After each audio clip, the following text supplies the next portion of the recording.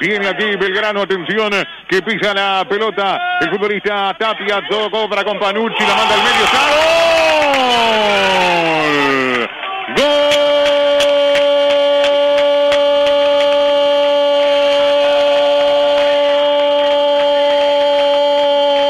¡Gol! De Belgrano a los 10 minutos, que bien la hicieron por derecha. Con Panucci se vino, levantó el centro y aparecía Miño para convertir a los 10 minutos del primer capítulo. Miño y Belgrano de Córdoba abre la cuenta 1 a 0 sobre Unión Española. Te decía recién, era más profundo, buscaba más el arco de enfrente el equipo de Belgrano. No le hicieron por izquierda, como habían repetido hasta ahora. La pelota ahora vino por derecha, buen desborde, centro atrás y apareció Miño, anticipando a todos un hombre de baja estatura para meter la pelota en el primer palo. Gana quien era más profundo, gana quien tenía más la pelota, gana quien era un poco más incisivo en el trámite de un partido abierto. Gana Belgrano, está bien, primer gol de este torneo o de estos torneos largos de verano que tenemos estas noches de Oriental. Hábitat, pasemos la vida más fácil.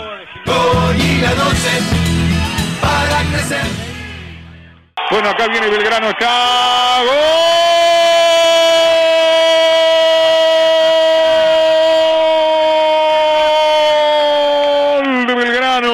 Gol de Belgrano de Córdoba que pone el segundo tanto del partido. Está ganando Belgrano 2 a 0 sobre Unión Española. Bueno, aparece esta jugada por derecha rápidamente, se hacían algunas variantes.